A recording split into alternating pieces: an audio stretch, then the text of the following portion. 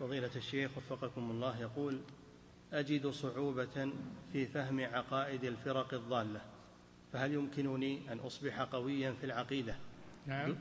يقول أجد صعوبة في فهم عقائد الفرق الضالة فهل يمكنني أن أصبح قويا في العقيدة دون دون دراسة عقائد هذه الفرق؟ لا لا بد من الدراسة لا بد من دراسة العقائد. التي ألفها أهل العلم الثقات وفيها مقالات أهل الضلال والرد عليها موجود. نعم.